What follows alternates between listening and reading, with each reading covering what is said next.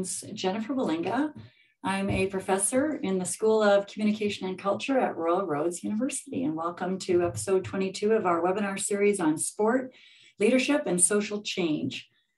We're excited to welcome panelists who are here to talk about excellence in community sport and the kinds of values and principles that community sport can model and teach us, especially in a time when our sport system is wrestling with a number of challenges.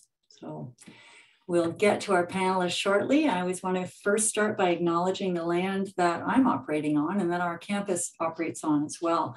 We're on the unceded territories of the Lekwungen and Qusetsun First Nations. We also call our partners uh, Songhees and Esquimalt peoples. Uh, it's really important here at Royal Roads to acknowledge our history. We are on a beautiful 300 hectares of un, un, uh, untouched forests, and we're staring out at the Olympic Mountains and the, and the Haro Strait. And it's crucial that we acknowledge our history and that these lands are not ours, they are unceded. It's important to acknowledge some of the harms that colonialism and imperialism inflicted on these people. And uh, in many of the same ways that we're struggling in sport to acknowledge the truth and the harms that have occurred in order to hold people accountable, hold ourselves accountable, and even if we're not responsible, to take responsibility for preventing these harms from ever happening again, making the changes that are necessary. And so today is particularly valuable for me because we can look to uh, some fantastic models of community sport that are happening across our country and look to them and, and, and ponder them, like seriously ponder them and think about how can we ensure that we protect the, the young people entering the sport system today.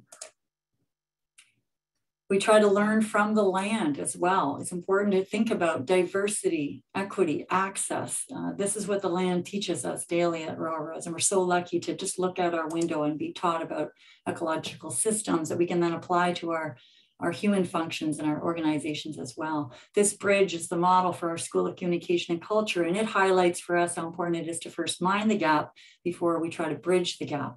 Embrace diversity, understand differences before we try to build connections between one another, whether it's a handshake, a conversation, or a, an actual physical structure or process. At Royal Roads, we uh, really value three key concepts in our learning, teaching, research model being applied and authentic, very real. Our learners uh, are often invited to turn what they've learned and researched and discovered into something that can help others. It's all operating within a, a community based model of caring. We value care. And our goal is to, is life dot changing, is to transform lives uh, so that people who've gone through transformational learning can then help others, serve others in that process as well toward positive change in our world. And here we are thinking about sport, and I really believe this increasingly as I get older that true sport really offers some of the more most important principles to our world. There's so much truth in sport. Uh, sure, we're seeing some of the worst evidence of sport lately, but it still possesses principles. Sport hasn't changed. Sport has so many wonderful values to share, teach, offer. Uh, and it's such a beautiful vehicle through which we can learn. This is me in my skinny little boat on the WSÁNEĆ territories being taught every single day about balance and precision, patience and discipline. And we know the power of sport. We've seen it We've seen it used as a platform for change uh, over the years, for many years, many decades, by so many of our uh, leaders within sport, whether they're athletes, fans, officials, coaches, leaders uh, who've taken that platform and really spoken for positive change in our society. Our programs here at Royal Roads are very interdisciplinary and in many of the same ways try to speak the values of development, diversity, inclusion, education, uh, sustainable environments, equity, human rights, health, communication, and peace. And we have lots of partnerships here at Royal Roads. It's not really a varsity sport type of or, uh, institution, but we definitely have partnerships with sport because we believe in honoring the experience and the learning that people gain through their professional careers, whether those are in the public sector, private sector, or sports sector. We also offer some programming in sport that again reflects our themes, our core themes and pillars at the university, but also uh, acknowledge the need that we're hearing in sport for leadership, governance, and, uh, and citizenship, leadership development.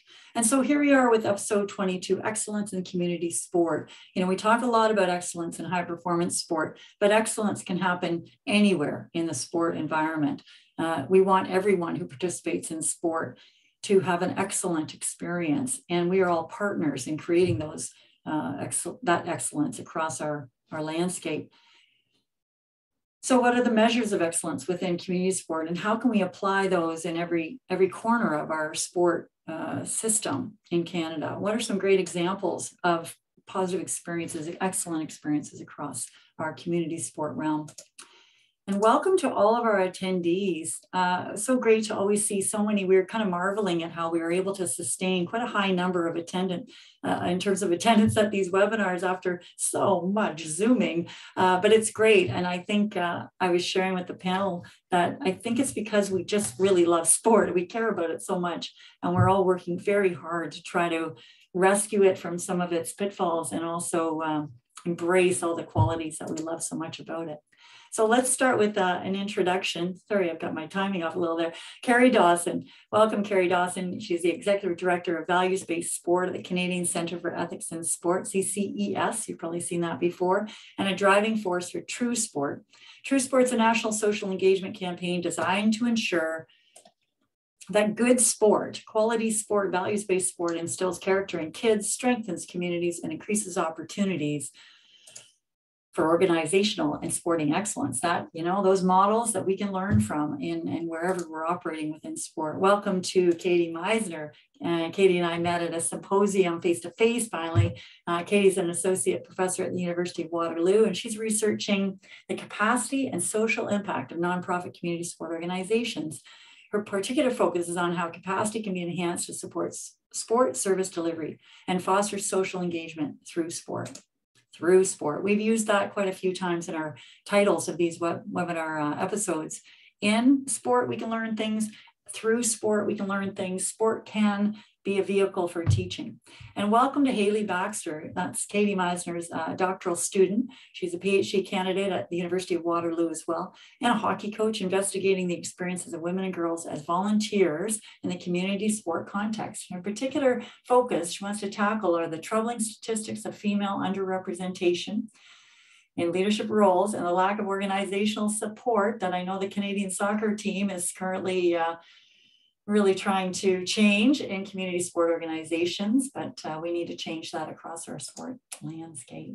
I want to remind our participants, welcome Jill Werflinger, good to see you here. Uh, that they can pose questions in the chat or by using your mic. If you just turn your mic on, we can, I watch for it, I can tell, or if you want to put your hand up using the reactions, you're welcome to speak in this forum. It's, it's quite a discussion really by the end. You can also pose your questions in the chat and we'll, we're monitoring them, we'll get to them. And uh, especially as I notice as they start to weave into a theme we might be tackling at the moment, then I'll bring you in and you're welcome to speak or we can just read your question in the chat. I also want to highlight that uh, we've got some contact information for everyone. So if you want to follow us on our various social media channels, there they are. And we have another episode, of course, coming up in March. March 22nd is our date, and we'll be welcoming five grad students, current, past, future, uh, who are, you know, my team of cats, really, that I try to corral and, and get working in different areas of sport. They're all fantastic champions of sport and young leaders. So I, I, encourage you to come and attend and hear what they have to say about the work, the amazing work and the amazing impact they're having, especially when we link arms, right? We're a powerful, powerful, powerful group. All right, well, thank you very much. I'll stop there and I'd like to uh, begin by welcoming our panelists. And I always start by asking each of our panelists for a little more of an introduction to them so we can get to know them uh, personally and professionally, but in particular through the lens of sport. So describe from, you know, briefly, but you can talk, take as much time as you want. We got an hour and a half. Share your journey to sport. Why are you still in sport? Why is it so important to you? You know, all three of you have really devoted your life to uh, to supporting this concept of sport. And can you tell us a little bit about that? Anybody like to start? Just turn your mic on. I'll Go ahead, Karri. Thank you. Okay. Sure, I'll go first. Um, thanks so much for inviting me here uh, today, Jennifer. Super happy to be part of this conversation. Um, so my journey of sports started when I was very, very young. I don't come from a family of high performance athletes, but I certainly come from a family that believed uh, in being connected to our community and sport was a great way to do that. So I grew up on a farm in rural Eastern Ontario, so pretty much played on every sport in every season because there was only that many kids available to play is kind of how it worked out. Um, so met a lot of lifelong friends through sport. When I became a parent, my two children, it was a similar scenario. You know, you need to get out there, you need to get involved. We'll start with individual sports, get your physical literacy. We'll move to team sports when you're old enough for that. And so traveled through sport as a parent and, and a volunteer, um, trainer, manager, whatever you needed kind of thing. And then I've now spent the last 25 years basically working in sport. So always at the national level, but I've always been involved in um, sport really around kind of the fundamentals of access, inclusion, ensuring a values-based experience, focusing on fun and just sort of all those life lessons that I learned from sport that I think other people should learn from sport. So that's the kind of that's the kind of work that I've always done. And, and I think the reason why I stay in sport is because I think sport is a fabulous uh, public asset, um, and it needs passionate people. It needs well-intentioned people to, you know, to guide it, to nurture it, to shepherd it. So I think that it's just got this tremendous value, um, and that we need to we need to cherish it. So that's why I stay, and that's why I do the work that I do.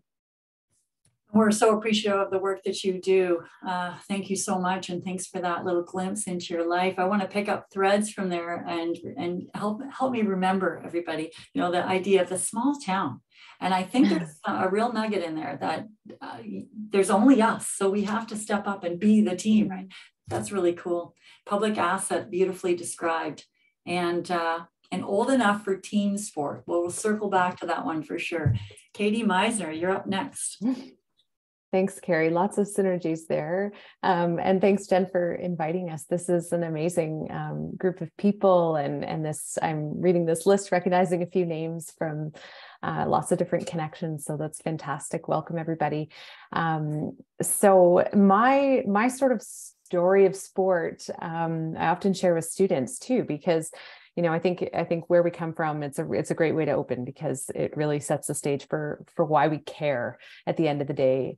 Um, I was an athlete myself. I was a gymnast growing up and a swimmer. I played baseball. I sort of did lots of different sports, um, gymnastics and dance at a fairly high level. And um, my parents were really involved. My brother played rep hockey. My sister was involved in gymnastics, and my parents volunteered a lot. They gave a lot of time um, to our sport, not just driving us, but also volunteering within the organizations on the board and that sort of thing. So it was really modeled to me um, at a very young age what it looks like to be sort of a family that's involved in sport and lots of other community um, things as well. But sport was definitely a huge part of our our family life. Um, and then I went on and did an undergrad in kinesiology and really sort of loved more the administrative side of sport and how do we make our systems and our structures and our organizations as robust as they can be. So i sort of carried on in the field it's called sport management um, the academic discipline and did my master's in sport management and my phd as well um, focused on the community sport context because that's where i had had the most experience. I wasn't you know an elite athlete per se um, but i was a dedicated athlete and uh, had seen the impact in my own family. So community sport is the place where I dedicate all of my professional time um, in my research hat. Um, and it's also now the, t- the space that I spend a lot of time with my own kids who are 11 and 9 um, and who are athletes themselves. And as a family, we spend a lot of time with our community sport clubs. And I'm a team manager right now. Haley calls me the momager.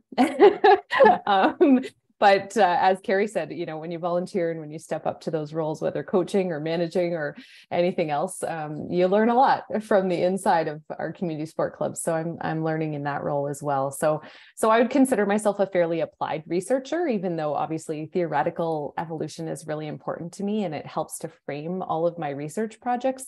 Um, the work that I do as a university researcher is really with the mindset and with the goal of making a difference in our local clubs. And if my projects can't at, at, the end of the day try to help move our community sports system in a positive direction, then then I don't tend to take those on. But uh, but yeah, I'm sure I'll share a little bit more about sort of what we've been working on in in the research space. But but that's sort of my my multiple hats in my story of sport.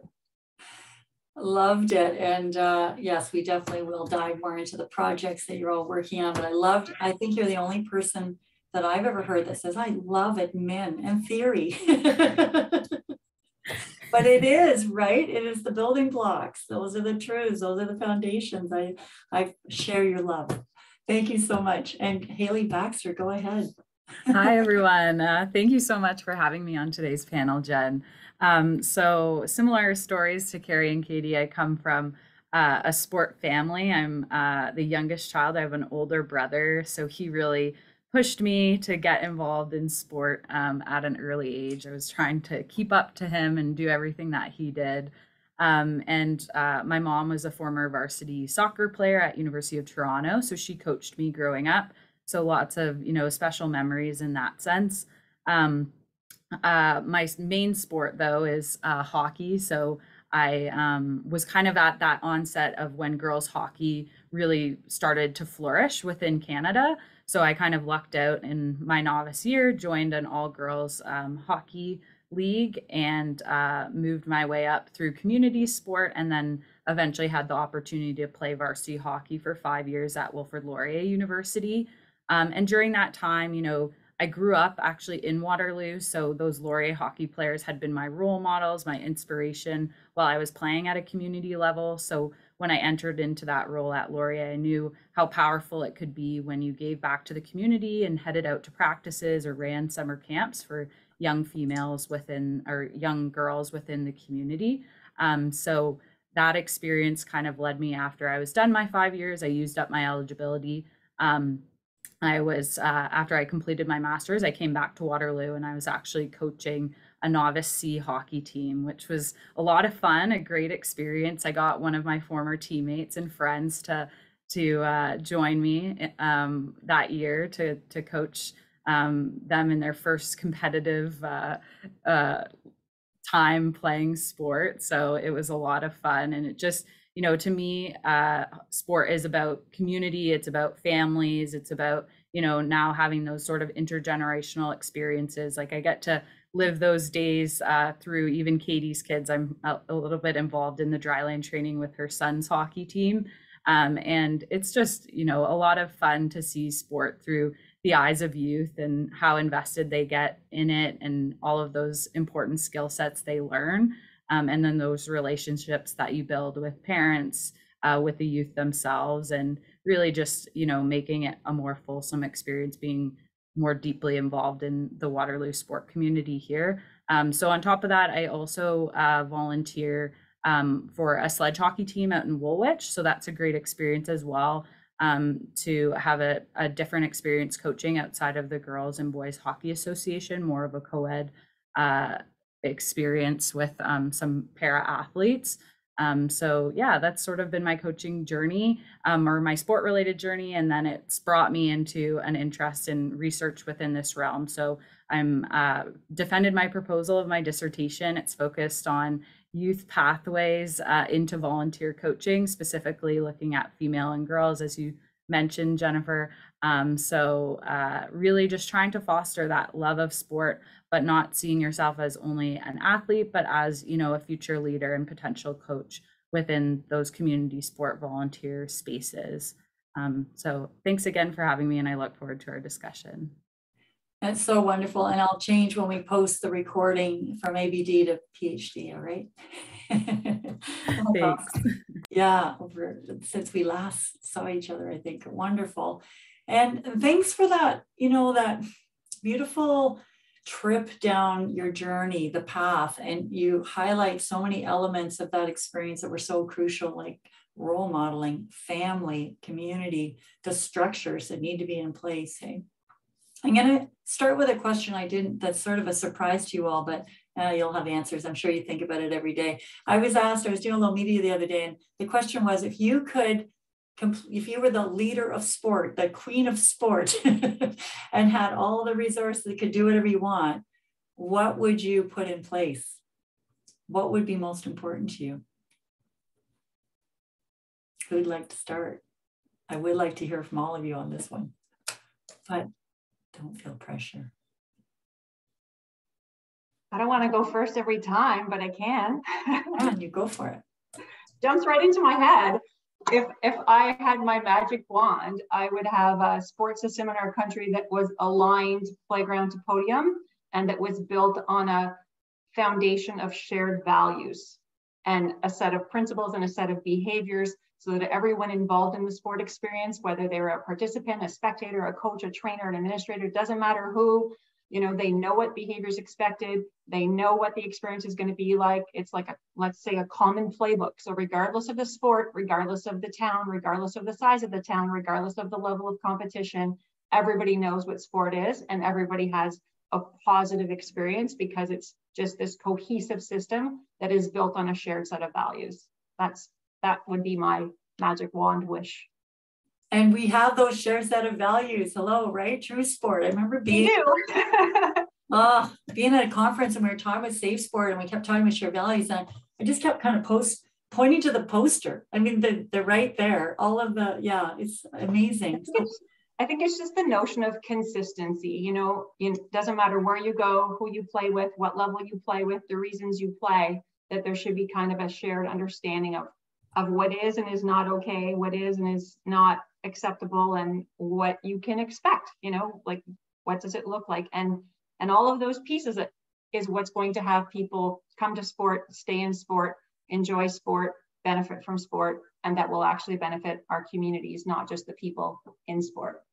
Exactly, right? It's not just the people participating, it's good for everybody. And it's mm-hmm. the most watched thing, it's the most engaged in thing in our world.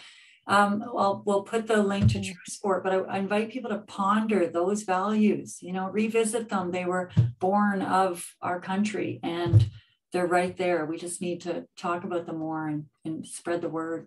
How about Katie? Go ahead. Mm-hmm. No, I think that's that's the perfect answer, Karri. I don't think we can do better than that. Yeah. And I think it, I think honestly, it encapsulates all of the little things that my mind went to. Like I was thinking, like get rid of the financial barriers to sport. There are so many kids who cannot play because sport is now elite and exclusive and they just cannot manage to do it. And we can't find the ways, you know, despite jumpstarting KidSport and so many other organizations trying to reduce that financial barrier it's still there and it is problematic and there are systems and you know that's a that's one of those we call them in the academic realm we call them wicked problems that have no easy solution they're come at it from every angle um, and we have to sort of see that financial barrier as one of those wicked problems um, I think at the end of the day, we need to view.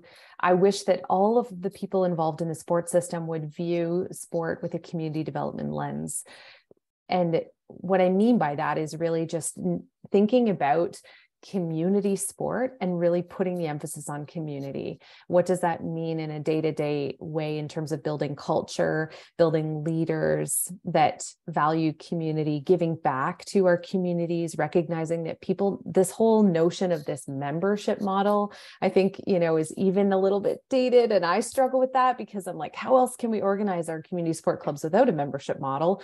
But at the same time it's very exclusive and people don't necessarily see themselves and especially people who are coming from different countries maybe don't necessarily align with that and um, so i think there's just so many things you know it could start a whole snowball down the hill and and the whole system can implode by the time we get to the bottom and maybe it should but um but yeah if we could do it. Karri's way and just have that shared set of values that everybody needs to buy into but we're also humans and you know we come at things with different lived experience. So i recognize too that people do bring that and and not we don't always agree right? And sometimes that can make us better um, as groups of people who come together to care about something but sometimes it can also tear us apart. So you know i think those are those are some of the challenges not necessarily getting to the solutions yet but but you're you but you are it's beautiful you know that these values need to be invitational we can't impose them otherwise we're contradicting the whole point right? Yeah so yeah. how do we coalesce around these values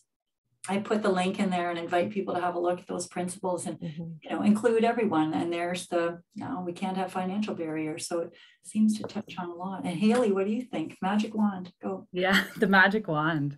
Wow. um, I agree with Katie. Karri's uh, answer in terms of value-based sport is really important. And I think, you know, Katie and I have spent a lot of time, you know, trying to reimagine what the sporting environment could look like, especially for people who are at that stage of, you know, maybe not wanting to go that traditional route that I did, where you go community competitive level onto varsity or higher level, even higher levels of sport. Um, so some of the work that you know Katie has led initiatives on um, uh, through a nonprofit, uh, research informed uh, nonprofit Active Together, really focuses on um, family fitness or parent parent co-participation model of sport. And it's kind of interesting as a research assistant on the project, having conversations and giving individuals permission to reimagine what sport could look like and giving them back that power into those who are the participants of thinking about, yeah, sport doesn't necessarily have to be, you know, me just on the sidelines watching my child, but we could create these important sport environments where the whole family can participate.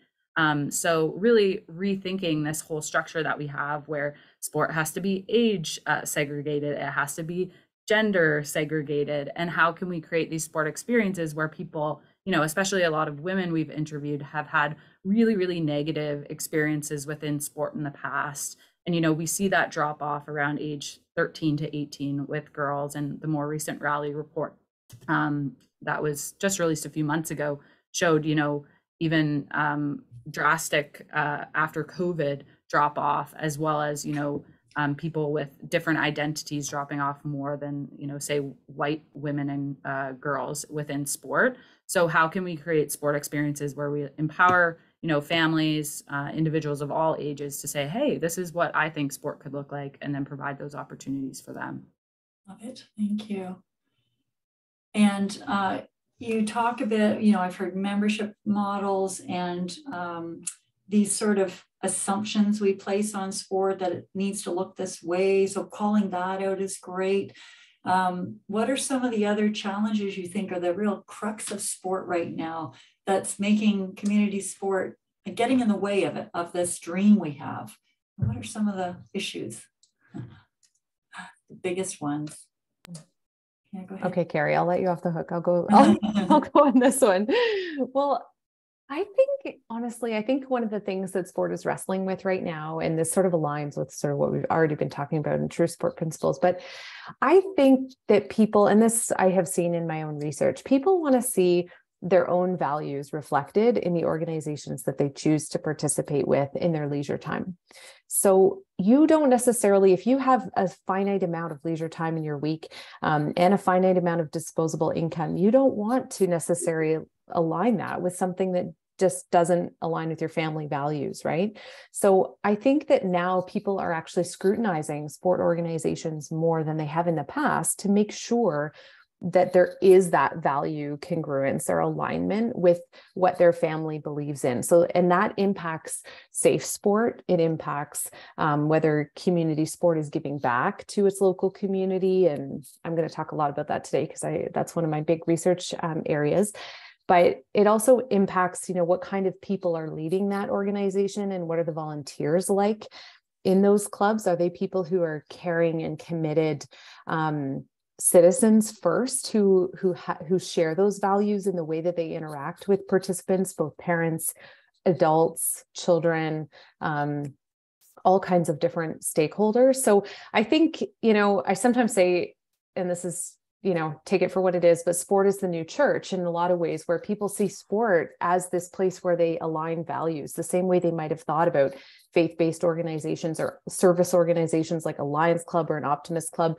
If you're going to give your leisure time or your volunteer time to an organization in our community which many people do give a lot of time to sport you want to make sure it's consistent with what you believe in and if you believe in fairness and safety and fun and enjoyment and health, then you're going to look for an organization, a community sport club that aligns with those values. And some some do, and some definitely do not, um, and are still in very much a, um, I think a former model of, of high performance community sport that you know is win at all cost and I think other organizations have really embraced that and are showing us this new model of sort of community development sport or sport for development and embodied. Um, and I think that those are the organizations that are seeing growth personally. Um, they're seeing people that are happier and more committed and more loyal to the organization and and so i think there's definitely some potential there that we can really grow that so that's sort of one of the things that really sticks out to me as the crux of sport is this notion that people are scrutinizing what are the values of that organization and do they fit with my personal values and so the, the crux being a, a different set of values you know valuing winning at all costs that and that of course has has I think is increasingly proving to have really let us down. You know, so if we bought into that and thought that there was something going to a wonderful reward out of that, we've been sort of betrayed through, I think, that process. We're seeing more and more and the costs associated with it. Yeah, other other issues. Go ahead, Haley. I see you.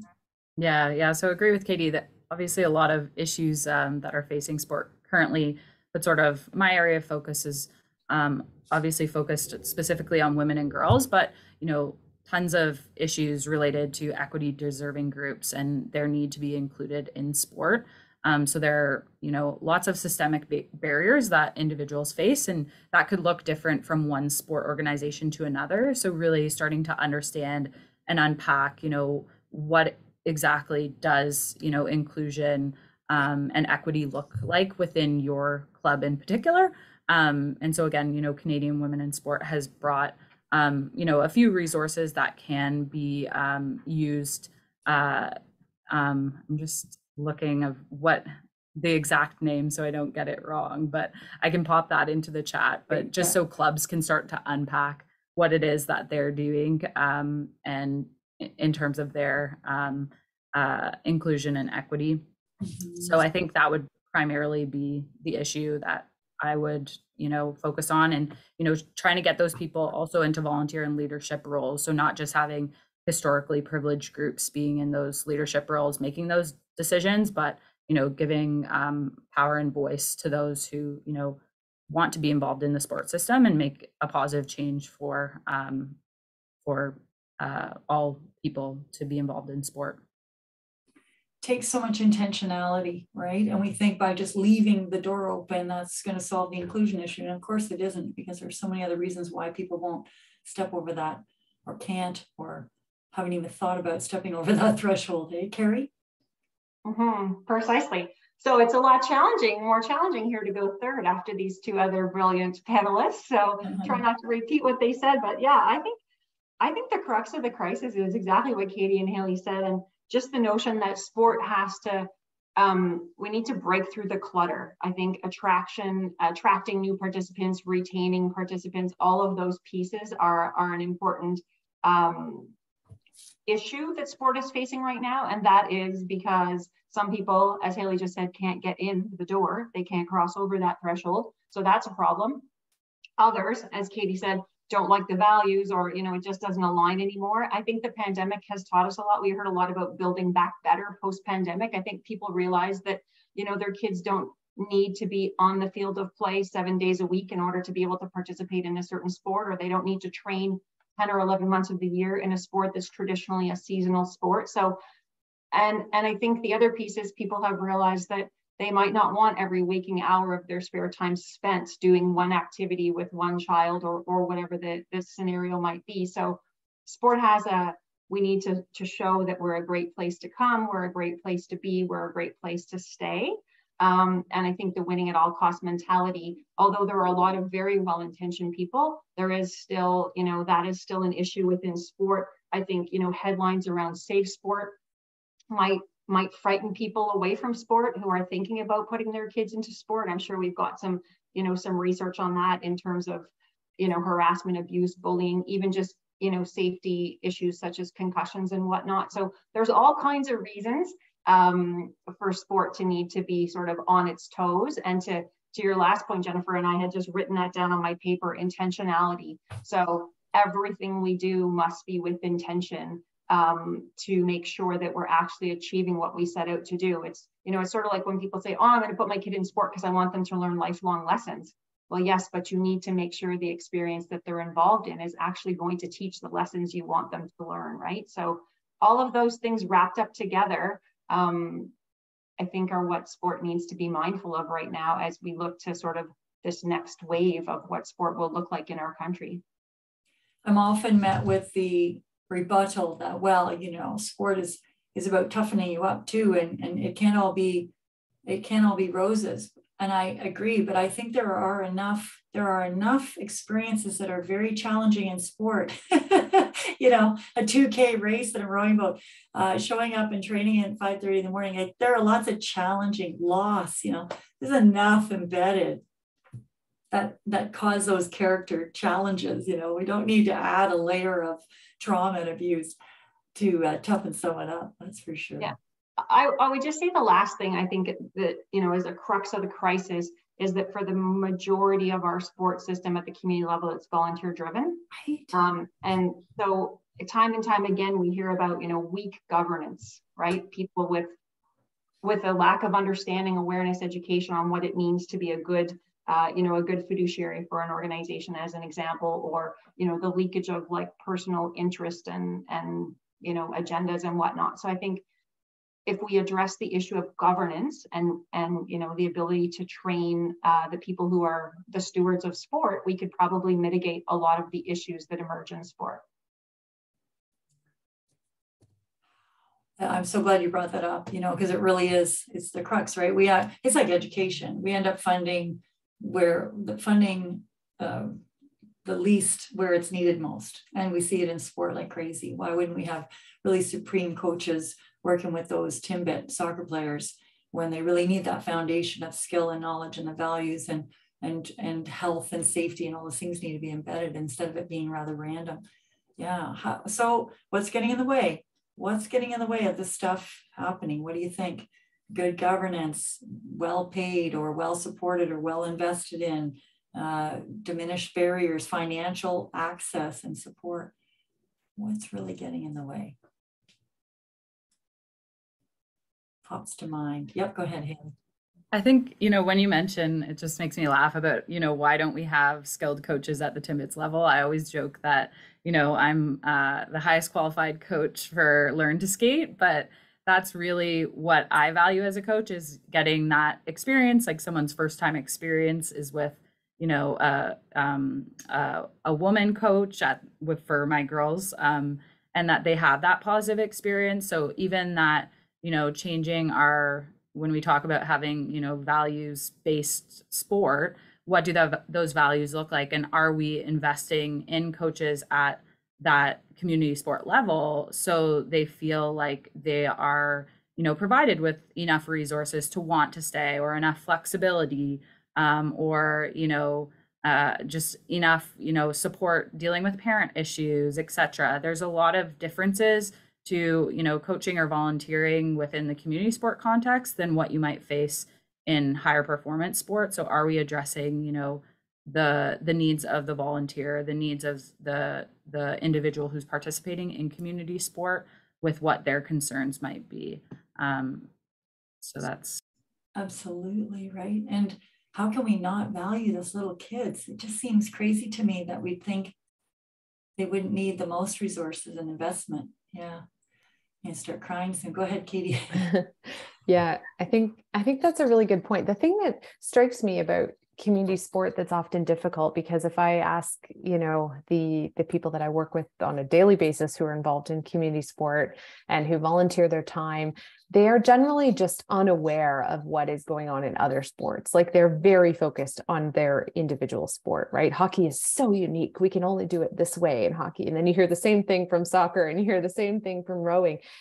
And I think at the community level, I I personally don't buy that. I don't think that there's that much nuance to any given sport that we couldn't have more of a system-wide understanding of what is maltreatment in sport and safe sport and what are the abuse-free principles that everyone can get behind, whether it's the responsible coaching movement or something else.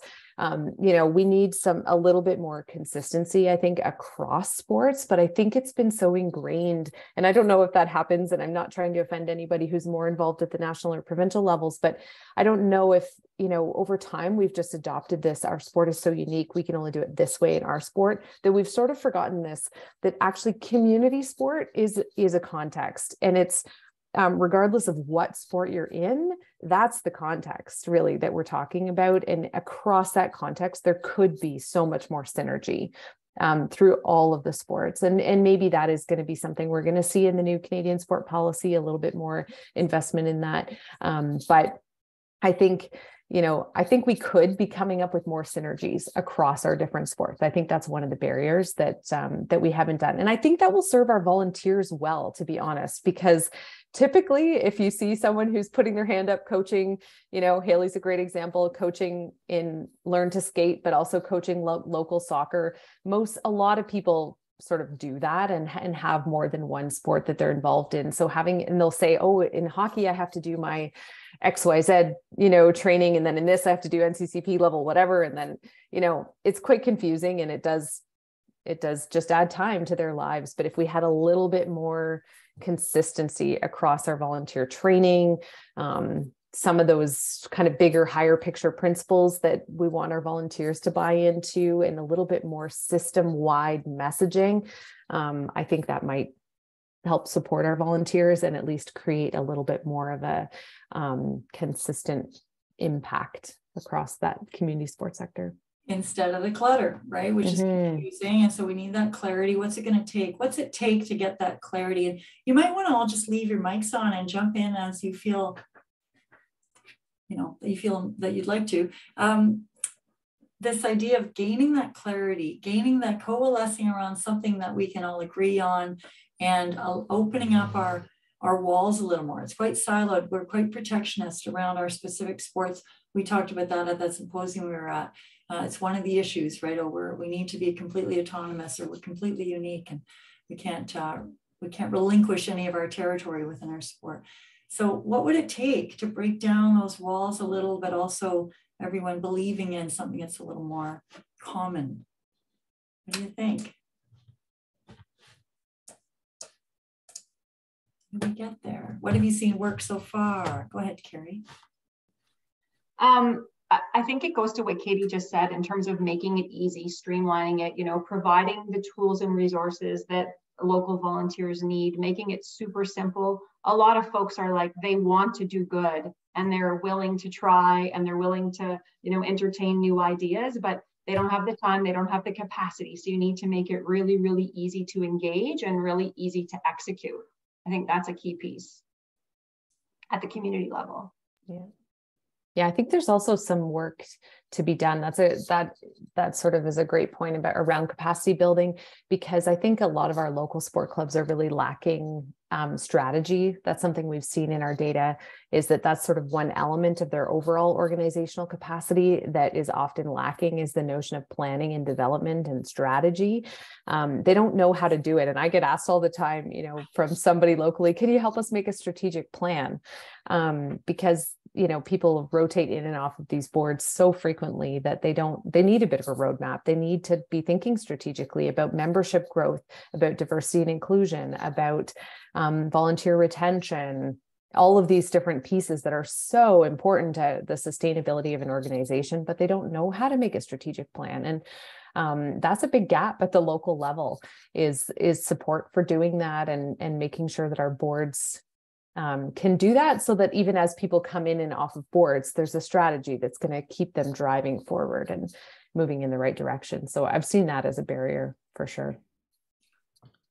Yeah, I think one example, um, just from my own experience. So I've done some work. Uh, there's a granting agency in Victoria, and I have um, some colleagues over in Australia that um, we've secured grants uh, to focus on enhancing participation pathways for female volunteer coaches. So the project really looked across three state sport organizations and um, their pathways for um, women trying to get involved in in their coaching pathways. So it was neat that we were able to do workshops at the end and bring those sport organizations together to realize, you know, this is a common problem across all, you know, community level sport clubs and from the state level, um, you know, having that strategic vision to support those clubs that are primarily run by volunteers and um, what supports are actually needed for those women coaches um, through interviewing them as well as you know interviewing the staff um, at the state level as well as uh, club rep, representatives to really understand the layers of creating change um, at the actual club level where it's affecting um, club leadership, club governance, um, and and what that looks like at the end of the day. In this case, for participants, with coaching being that front-facing role.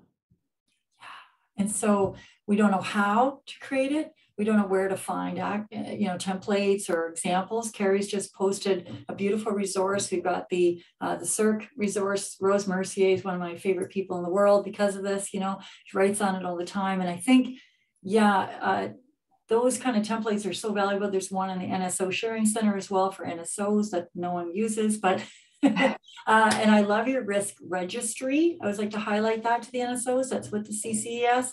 These, these resources are there. How do we help? So whose job is it to help the, how do we, you know, leverage them and get them out there? Being the communications person, I'm always looking for those little channels, opportunities. What have you seen work? Uh, where people go, oh, I know where to get stuff. Yeah, we're seeing viaSport do a pretty good job in BC, but what do you think, Karri? I just wanted to add actually, Jennifer, on the last point that, that Katie made around the strategic plan, I think at the community level, another issue is um, evaluation. So how do they, when they implement new programs or new initiatives, how do they actually know it's working? And then connected to that is how do they communicate it with their membership? So I often find that community groups will reach out to us and say, you know, we want it, we want to do all these things, but how do we actually tell our parents why we're doing it this way? Because it's different. And sometimes there's resistance to doing things different differently. And so I think that's another important piece where we can build capacity is to help with um, member communications and to help with some evaluation so that they can prove that the extra things they're doing or the things they're doing differently or why it's not maybe the way it's always been done uh, is actually working and serving, you know, and serving a purpose. So I just wanted to add that on the last part, sorry. oh, it's so brilliant. And then they they feel actually that they have some meat to share with the members, right? This is this is what we found. This is what we found in evaluating our impact. But samples are so helpful because people even struggle. I mean, being an instructor or working with organizations, that's the big question. How do you know you're having impact? And they look at you, blink, blink, right? It's so, it's such a tough uh, question to answer to generate those metrics or measures or evidence. Talking with leaders is the same. Yeah. Have you seen some examples of that working where uh, here's kind of a model organization, a model provincial association, territorial association that's, that's done a good job of either providing the resources, samples, templates, communicating those. Uh, how about community organizations that doing a good job of tracking their impact and sharing it with members. It's okay to, to not. it just highlights that that's what we need, right? We need these uh, these exempl exemplary organizations to kind of pave the way. I I know an example out of Hockey Calgary how they launched sort of this like what not to yell app initiative to try to get you know um, this like basically the premise is it's this app and you get a notification an hour before the game um, if you're a parent and you have this like learning module that helps you focus on emotional self-control um, or like maintaining a positive mindset or it's reminders about the league code of contact, uh, conduct. Um, so in terms of evaluation i think they've done that in partnership with some scholars but um, you know mostly just marketing at this point of what the app actually does but um, so you know some slight evidence that you know it's it's starting to help support parents in understanding you know more appropriate behavior um, to you know what they could be yelling during a game like good job etc supportive um, messages to youth in sport. Um, but yeah as Karri mentioned evaluation is is always a difficult one especially for at the club level when you know it is voluntary you're already you know majority of your time is going towards uh, um, you just trying to get the kids on the ice and get things done um, but i think it is an important uh, thing to think about and you know thinking about how we can partner with researchers to better improve our practice Exactly. And I love that. You know, people, again, they think researchers are uh, sequestered away in some little corner, but they're applied researchers like Katie and Haley here, right? Making things happen in the world. Karri. Um, I was just going to give a shout out to a program that happens in Nova Scotia. So it's the Nova Scotia True Sport Ambassador Program. And I'm pretty sure Elena's on the call today. I think she was a guest maybe last month or something. Jennifer, yeah. one of the tapes I watched, I saw her on there. So they have done a great job of using True Sport as a way to address safe sport in their province. And so in that um, particular program where they use athletes and use a social media platform, I know they've got a you know a fairly rigorous evaluation and and they track data and you know have a Mitacs grant and stuff like that. So I feel like at the provincial level, I know of a few groups, and Mitacs is a great way for people to do that, where they cost share, right, and get get some research uh, behind their behind their work. So Thank you. And this has just been, it's always such a treasure trove of resources for people when they come on these because of you great people with so many things to share. And you can see the cross pollination that uh, these kind of forums allow as well. And I'm seeing maybe we're a bit zoomed out, but I think we got to keep them going because it's such a wonderful way to link up our country. We're so spread out geographically. So it's a way to, uh, link us up, that's for sure, and get us sharing and breaking down those uh, silo walls, right? Permeable walls is what we need. It's okay to have silos, they're useful. Right, what else? What else? Any other examples? We've got people, I'm, I'm welcoming the attendees to share their stories as well of things that you see working. It doesn't have to be, you know, an exemplary organization, but things that an organization has done that have demonstrated some real excellence around strategy, communication, uh, evaluation, uh, and, and, consultation can be very valuable as well. Poke it in the chat or, or put your hand up. We'd love to hear about it. All right. Uh, what do you think? We've talked lots about community-based sport programming and what it has to offer as an education. I often talk about sport as a degree. You know, if you do sport, you're learning constantly. It needs to be intentional. But what do you see uh, people, the opportunities for people to learn through community sport experiences that are, you know, unique to that realm of our sport world? I don't know if this is where you're going with this question, Jen, but but I I want to share a little bit about what I've been seeing happening in the sector in terms of um, social responsibility. Um, this has been a piece that um, I I've just been blown away actually by what our community sport clubs are doing in terms of caring for their local communities. And this is something that I don't think was happening. It certainly wasn't happening when I was a kid. When I was a gymnast, we were, you know, selling chocolate covered almonds outside the beer store to raise money for our next competition somewhere else. And all the money was always going back to the club and to the parents. And there's nothing wrong with that model. That definitely is still happening, right? That's basic fundraising that happens in sport. But I'm seeing this wider shift in our sport culture at the local level where clubs are really um, much more mindful of the giving back to their local communities and being ingrained in those communities. So I'll give you a few examples. Um, I'm seeing clubs that are much more environmentally conscious than we've ever seen before. They are being very careful with um, you know looking after their fields or their rivers or their different spaces that they use and having kids do garbage cleanups on a regular basis having kids be the ones to um, look after any property sort of thing in those clubs. Um, Ultimate Frisbee is a great example. This sport is very environmentally conscious and it, I think it infuses those values.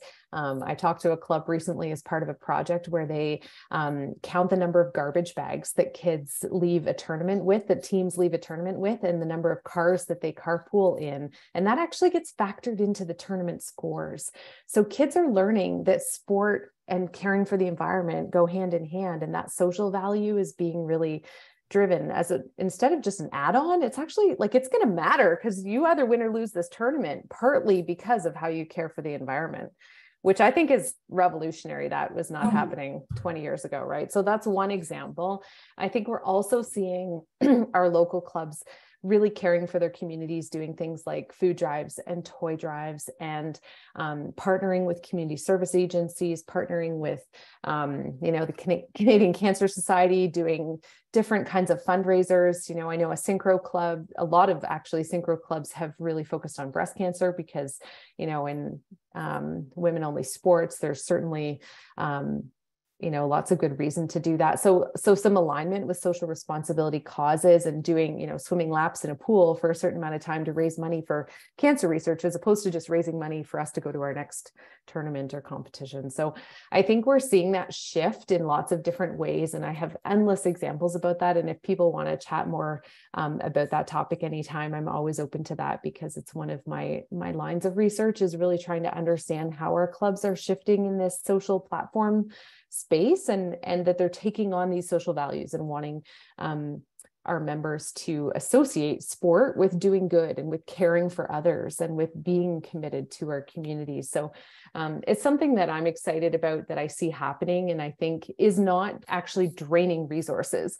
People people sometimes say, "Oh, but then you're just asking your volunteers to do more." That's not what we're hearing in the data. We are hearing that actually people get really excited about this and usually someone might put their hand up to organize the toy drive who's not going to be the same person who might be the coach on the ice. So we're not asking that same person to do two things. We're actually drawing in more volunteers when we engage in some of these things because people say well i can't coach but sure i can organize the toy drive. So um, it's actually working i think to support the capacity of our organizations as opposed to take away from it um, so I just want to share that as an example of one of the things I think that's happening in the sector that's quite exciting and has has a lot of good potential for the future and could really be expanded as we see our clubs engaging more and more.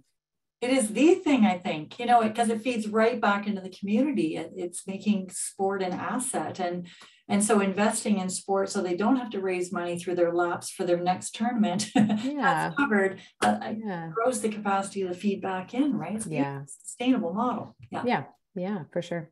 Bingo. Karri. Yeah, Katie, thanks for raising that because giving back is one of the seven true sport principles and it was a really important piece when we you know took those four values and further articulated them into the principles and way back in the day we used to we used to hold something annually called the True Sport Give Back Challenge. And so we en- encouraged clubs and teams to tell us what they were doing to give back. And at that time, we really had to explain exactly what we meant. Like they didn't get it. You had to give them examples. You had to, you know, to seed some ideas so that they could enter this competition to win whatever we were giving out on any given year. And and now i think you know we don't run that we don't run that anymore but you see things happening like you know the chevrolet good deeds cup as an example we don't happen to have chevrolet as a sponsor but you know what i mean you're seeing these things and you're seeing commercials on television and and it just goes to the notion of the power of sport and i think that community sport it happens in community the only reason it can happen in community is because the community provides the place and space for the people to come together. It provides the volunteers. It, they buy the chocolates when you come to the door. They donate their bottles when you come to the door. And so I think it's a really fabulous thing that has absolutely um, evolved and there's such a greater understanding. I hadn't heard any stories about like, you know, accounting towards tournament points and whatnot, but I think it's really telling um, around that whole public asset piece and how sport is a community in and of itself and how the power of that little community can help a broader community. Oh, the networking, the connecting. Haley, go ahead. Yeah. Yeah. I think when it goes back to the community, like looking at the specific needs of the community that you're in. So, you know, one example from hockey, if we're looking at, you know, the crux of the problem being, um, you know, serving equity deserving groups. Um, the Seaside Hockey Group out of Scarborough does a great job of you know it's an all black run hockey team and um, they do a great job of you know addressing the needs of that specific community whether those are financial barriers but also you know systemic barriers to um, black youth entering into hockey and then having being able to have role models as well as those discussions of you know race within hockey and um, you know trying to bring those conversations into other communities as well to make ensure that um, hockey is inclusive of all. So, you know, Katie's uh, the uh, community organization that um, Katie's son is part of is doing a Hockey for All initiative where all of the youth are, you know, writing poems or um, you know, doing speeches about, you know, what hockey for all means to them. So, you know, shedding light to those initiatives and um, how we can really serve um, different communities and different community dynamics and demographics at the club level um, is also important to start to, to think through to get people involved in different sports. And describing these, capturing the value of these programs, these initiatives, adding, you know, an opportunity, giving kids an opportunity to just speak about or ask them to be accountable to speak about the power of sport for all and inclusivity is you know capturing the value of it right? So now you've you can make that argument that spider's asking us to make here. Why would we want to host an event a sporting event? So expensive. No no yeah yeah you got to invest but the returns are huge. And they're not just financial. They are financial but there are so many other returns that you get on your investment in sport uh, with when it's done with intention and here are all sorts of things you could use within your event hosting that could also capitalize and build capacity uh, across your community. Beautiful, beautiful. Love the statement too, forged by sport uh, instead of abuse. Isn't that great? What else can we do to share the value, capture the value of sport um, so that we can make a case for it, for investing in it? What other values does it bring to us? We're giving back. We're developing leaders. What else is it doing?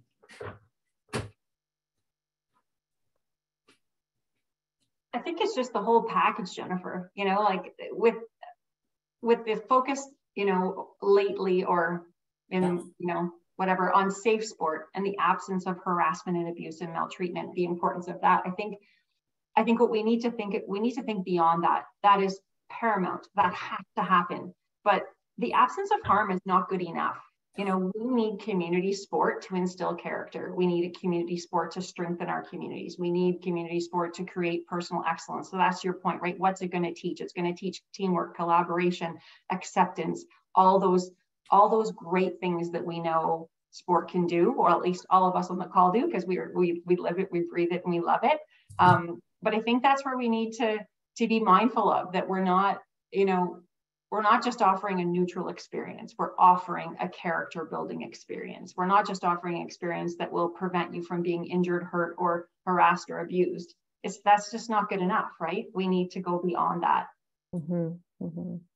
Yeah, Karri, I think that's a you hit the nail on the head. And I think one of the ways that that we can demonstrate that character is in you know really taking a look at and encouraging the leaders that we know in community sport to take a very concrete look at the stories that we're telling as a as a sport club um, and the culture that we're breeding. So whether it's actually a true culture audit per se, and Jen's more of an expert in this area than I am, but um, I have seen this work in a couple of clubs where they have really taken a deep dive at things like the stories that are told from year to year among coach to coach or from the board to the next you know what is haley going to tell the next person who takes over learn to skate right? Those narratives are really important in shaping what the club is about and what the most important values are.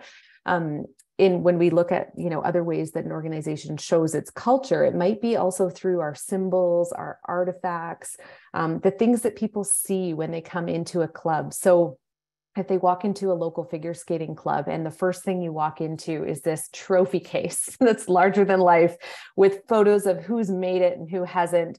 You know olympians who have come from this club that tells you a different story than when you walk in and you see photos of kids doing a toy drive or a food drive or you know participating in the Chevrolet Good Deeds Cup or you know something like that. And I'm not saying that one should happen at the exclusion of the other, but I think that we've been sort of caught in the trophy case mentality for a long time where we think that that's what excellence in community sport should look like and that's what our culture should then represent. And I think if we start to think bigger about what our culture means, it can even mean, you know, are we advocating for having posters you know many of us have seen them that that talk about i think of the one that's in my local arena that says you know these kids are not going to the olympics. Referees are humans. You know coaches are volunteers you know check yourself at the door basically right? Like just being more mindful of the signs the artifacts the photos the stories we tell i think is a big part of demonstrating our culture to anyone who walks in the door whether it's a you know a facility partner or the media or our own members and their families. Um, but really kind of taking a scrutinizing look at that in a really critical lens on what is it that we're doing? And i think if every community sport board were to go through an exercise like that where we scrutinize the things that are around our club that we've just left there for 30 years and never you mm. know looked at all those photos of white men on the board for 30 years let's take a look at that. What's it telling our new members? And and are people going to put their hand up to join the board when that's what they've seen is the history and the trajectory? So maybe we want to look at those things a little bit more carefully and um, really try to do things differently moving forward. Katie we call you a cultural um, a cultural deputy. Okay, good. I'll take that. In our school, we have we deputize everybody, as they leave the because now you're recognizing the power of the communication culture. Yeah, right? everything's yeah. communicating all the time, and those yeah, those picture the old white guys are communicating, um, but also that culture and governance are interlinked. So strategic planning grounded values and part of the operational plan is how are we communicating these things through our priorities but also all those artifacts stories etc love it love it love it uh, karri and then haley yeah just a couple things that katie said that jumped into my mind obviously i'm not the researcher on this panel but uh, a project that we did with queens was something called the true sport principles in action so people said to us you know what what should we expect? Like, how do we know if values based sport is alive and well in our organization? So we did this project, and it's basically what what does it look like, what does it sound like, and what does it feel like when when a good sport experience is happening. So there's a series of infographics um, on our website called True Sport Principles in Action that tell you, you know, how how will these things manifest? What can you expect to see? So that was the first thing that popped into my mind. Um, and then the second thing that popped into my mind in terms of you know what we see and what we hear and and there's so many different people who have such an important part in offering a sport experience so a quick shout out to the gang in manitoba for their initiative called no ref no game right because without the officials we have no game and so they did a great campaign it goes to your notion of you know the signage in the arena of you know these people are just children like that ref is someone's child type idea um, but they did a really great campaign called no ref no game that that pulls on that and Haley. Yeah. Um, so uh, one of the initiatives I know we uh, I have a peer here um, who's at the University of Waterloo who did started off doing masculinity training with varsity athlete teams here at University of Waterloo as well as at Laurier. Um, and basically the premise, you know, to break down an understanding of, you know, what is masculinity, um, because I think ultimately, you know, regardless of what the issue is like we want people to come out of sport as better people and good contributors to society um, and you know unfortunately we've seen a lot of examples in recent times of you know people going out into society and not being great examples of of what stems out of sport culture. Um, so some of the research we had done sort of at the community looking at the research that was currently at the community sport level in terms of maltreatment is that you know gendered abuse is is not really something that's been that explored at the uh, community sport level and you know one study in particular by parent and vaillancourt morel they reported that non-heterosexual preference was associated with higher rates of reporting sexual violence. So there's clearly you know we we have wicked problems as katie mentioned within the sport system but then we do have these these examples of you know whether it's this masculinity tra- training, whether it's it's training on gender and sexuality from those younger ages when people are involved in the community sports system not even younger ages you know older ages as people transition and change and um, there's other things going on within community sport that i think are important to sort of recognize you know what can be done not so that you know people involved in sport become better people outside of sport as well beautiful. And I was chatting with uh, Danielle Poulos and Alana Lieberman the other day about this idea of prevention and, and where it starts. And we were kind of arriving at that, you know, that it begins with education of all, not just coaches, not just the leaders, but equipping the participants with an understanding of what to expect, uh, where the boundaries are, how to be a not be a bystander, you know, get that bystander training sorted because we don't know what to do. Something happens, you kind of freeze. So, how do we equip everybody with this knowledge and understanding so that right from the bottom up, which we're seeing, right, this bottom up leadership I don't love hierarchy, so I don't love that language, but it's what we understand. Yeah, what else could be done or is being done, but what else could be done within the community sport realm that could prevent some of the harms, inequities, inaccessibilities that we see right now simmering uh, across our, you know, high performance layer or corner of sport.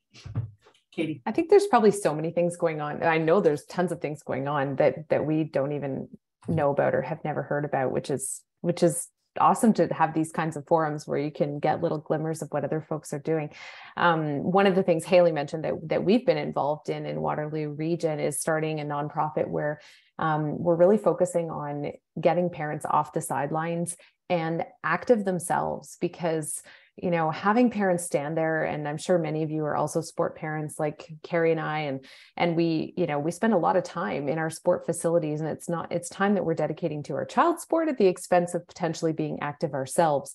And so you know instead of just sitting in a lawn chair watching endless hours of kids soccer that started to make me crazy. We started um, trying to um, it's not that I don't love watching my kids play. I do, but I also my I don't need to go to the rink four days a week and stand there for an hour.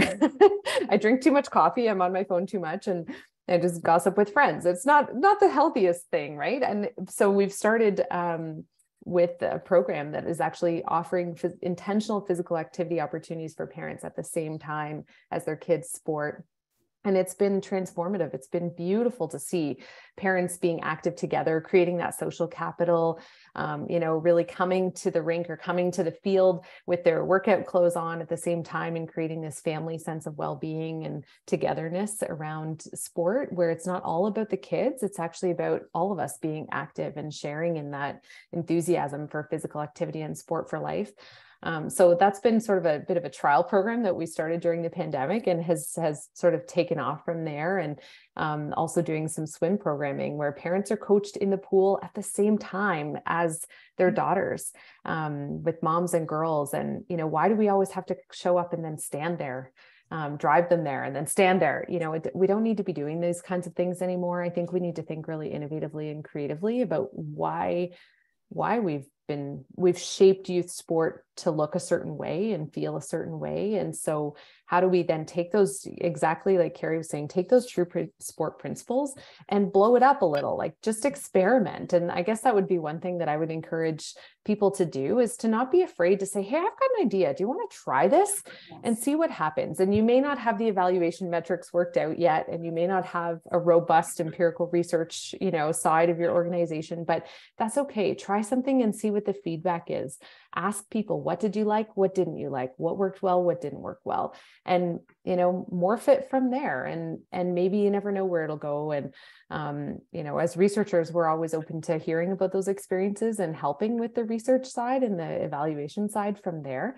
Um, forming universe, university partnerships in your area or your part of the country is also a really great um, way to connect because those of us that are researchers are always dying to connect with people in the field um, and hear what you're doing and give a little bit more evaluation to that. So that's just, just sort of one recent example that we've been involved in with sport parents um, and getting them a little bit more off the sidelines and into their own healthy space. Yeah, Katie, when you mentioned that, I was thinking of some of the interviews that came out where it's a good check for the parent to see, you know, when they're yelling at their kid to swim harder swim faster, it gives them a good reality check of how actually skilled their child is at that sport and how they can be a little bit supportive. So we had a few funny interviews where the the parent was definitely um, saying, you know, I had a good reality check, and then the kid was giving them a little bit of uh, sort of a taste of their own medicine when it came to what they were doing. And that's when that trophy case starts to weigh pretty heavily on people, hey, getting them kind of cloud our vision somehow. So, so expanding our measures of sport success, sport excellence, which we've been pressuring on the podium to do, right? Expand it to include a healthy culture. Are we developing leaders? Where's your program? You know, where's the evidence? Show us. Uh, love the linking arms. Let's not forget to link arms with our institutions, our learning institutions, and let's all learn together, which reflects back to your point about evaluating how we're doing constantly uh, learning. Love it. Karri. Yeah, I love the I love those stories and those examples. Another thing that pops into my mind is, um, you know, the notion of sport for de- using sport as a tool for development, and uh, in particular, the integration of newcomers.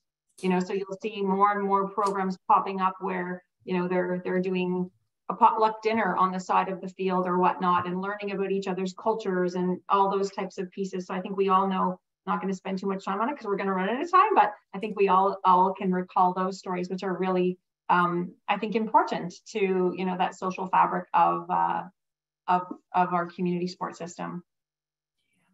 Good friend Carolyn Trono gets behind that. Haley Baxter, go. Yeah, no, I like that you mentioned that sport for development example with newcomers. Just reminded me of a, a, volunteer position I was part of when I was in Australia, where it was um, a street soccer program. So it was for women um, who've perhaps you know experienced homelessness or you know come from you know different backgrounds uh, and how you can use sport um, and community sport to really you know foster connections outside of sport so whether that's you know social services or health services to really support them through sport to feel you know a, a lot of times you know you're more comfortable talking to your coach than you are a medical professional and you have more time with them and you can get to know them so that was a neat experience in terms of serving a different population through sport.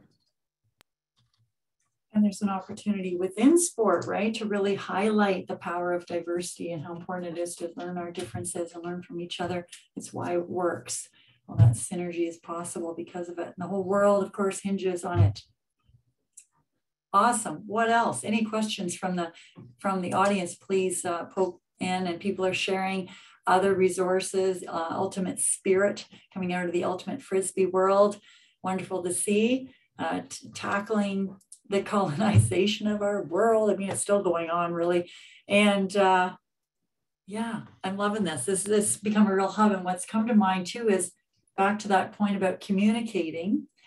And I remember us wrestling with this at a, I think it was a Sport for Life conference where everyone's doing a bunch of things and, and is that okay? Or should there be some kind of coordination? Should there be a hub of some sort? Can we, is it possible? Or should we just be happy there's a lot of people doing a lot of things? What do you think? Katie. You that's, that's, that. that that conversation happens like at every single sport forum that any of us are in, right? People always go like, "Oh, we just should all get together." Mm-hmm. I, I think I've come to realize that that is never going to happen. Um, but the more that we can at least share resources back and forth as best we can is is a positive thing, right? So um, I appreciate I appreciate all the things that have been shared here in the chat today, and and yeah, look forward to keeping in touch. Um, as we go you know i think that one of the biggest things that you know i'm i'm biased. I'm a management scholar so i'm really i'm really focused on looking at our organizations because i think that change happens through organizations. I think that people align themselves with organizations and that as a critical mass we can we can do good or we can do harm.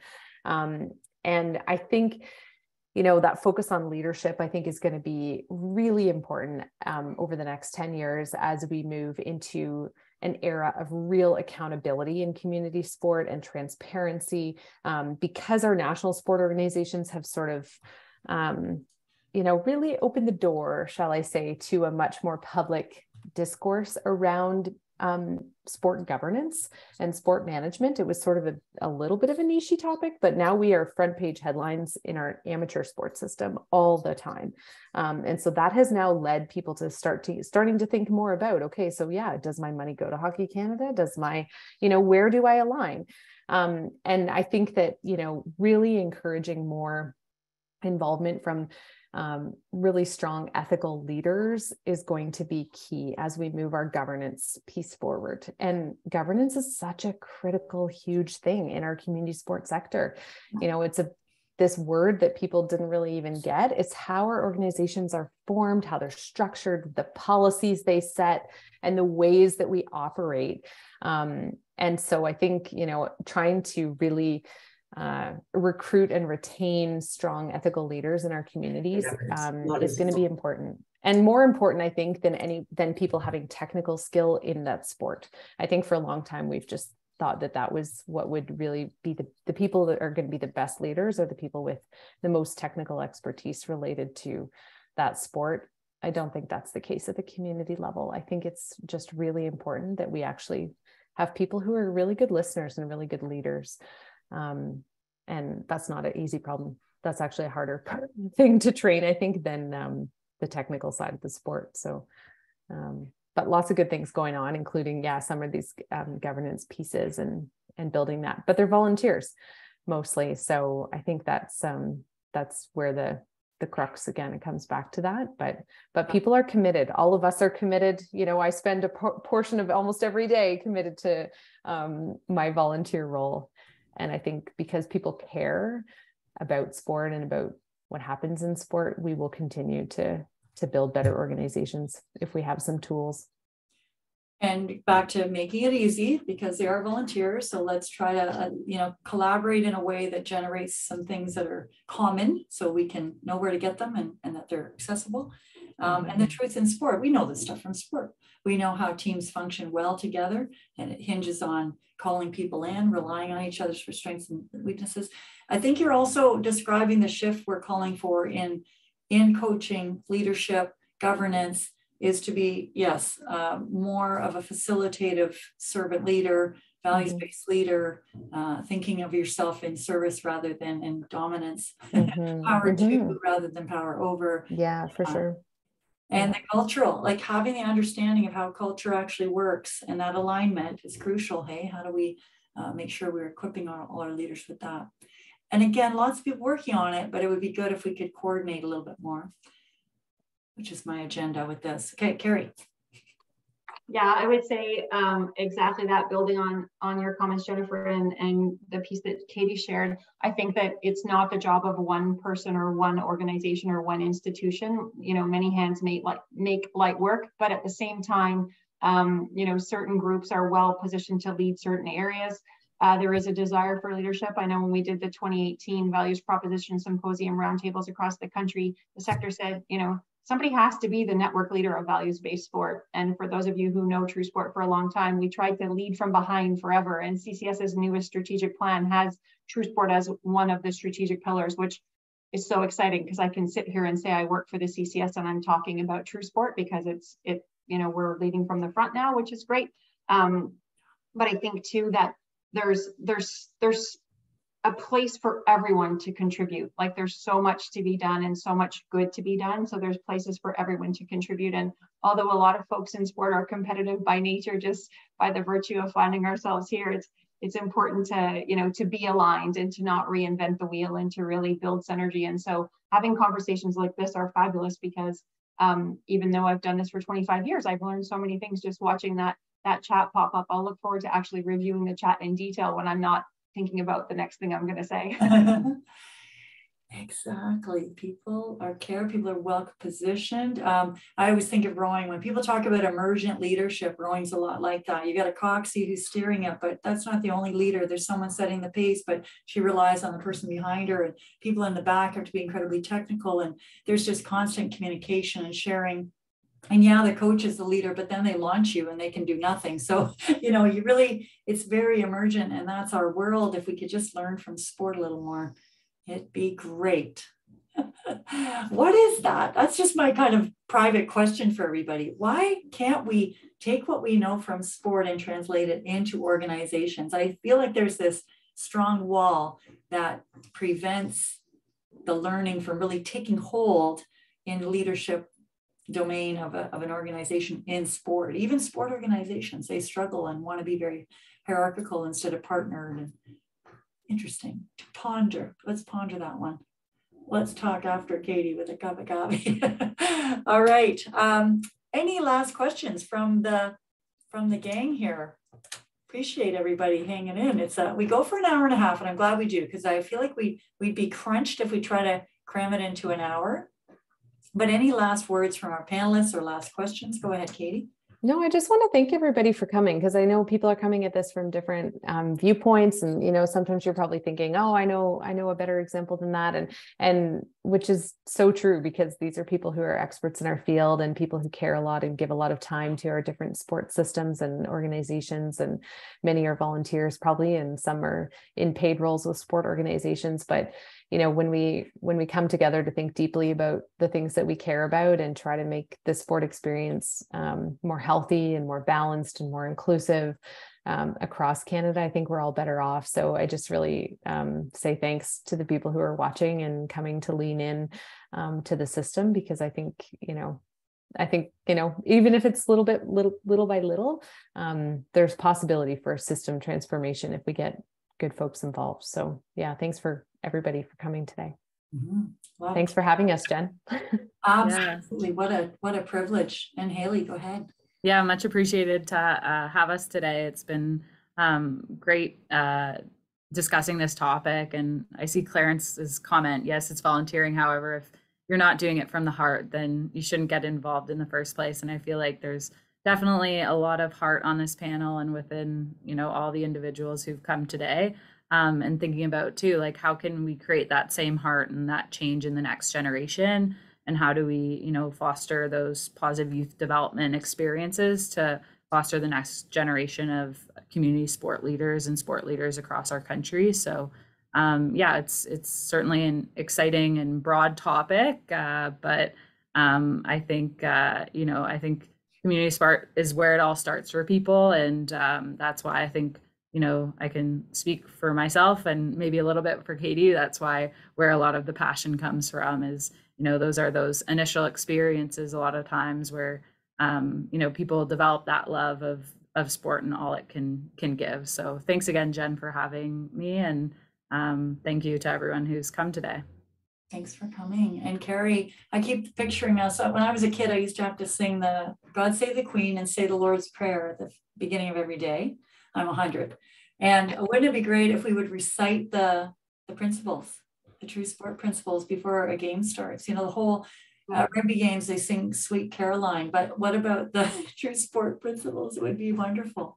How can well, we you? Let us know. In, uh, if you take in the Canada Games, which I think start next week, they do do true sport oaths at the beginning of the games. The coaches, the spectators, and the athletes all say a different true sport oath at the opening ceremony. So there's an example where you can catch it in action. But yeah, I would just say, like Haley and Katie, it's absolutely a pleasure to be part of this conversation. Uh, I think it's more and more conversations like this that we need. And I would just go back to, I think, where I started of, you know, sport is a valuable public asset. We need well intentioned, passionate people to shepherd and to nurture um, this asset. And, and building on what Haley said, um, almost everyone starts their sport in community sport. And unfortunately for some people that's where sport ends as well. So you know a community sport is this place where no matter how long someone stays or they may stay there for you know sport for life at, at any age or stage but it's always happening in the community. So i think it is something that we need to cherish that we need to nurture um, and that there's so much good in it.